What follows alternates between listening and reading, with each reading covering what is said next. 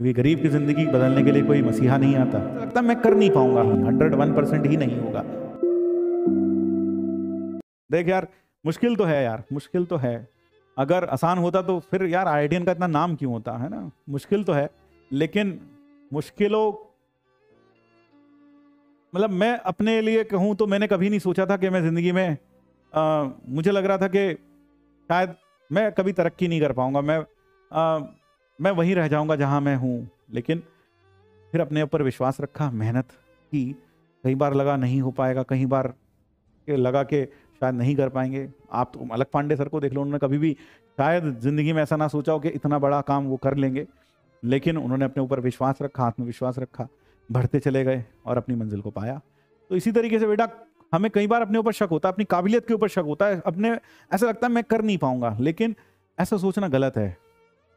तुम सब कुछ कर सकते हो। बस लगन होनी चाहिए, लड़ने की।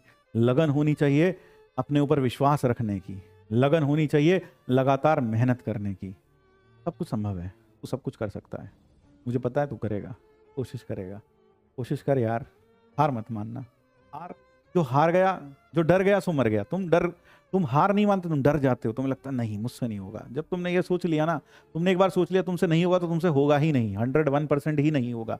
लेकिन अगर तुमने सोच लिया, नहीं, मैं कर सकता हूँ, मैं उठ खड़ा हूँ I will bounce back I will do it then definitely things will change तो इसलिए आइए, बदलते हैं अपनी दुनिया को, खूब पढ़ाई करते हैं, खूब मेहनत करते हैं, और अब हम अपने लक्ष्य से कुछ महीने, कुछ दिन ही दूर हैं हम अपनी मंजिल तक पहुँचेंगे ज़रूर।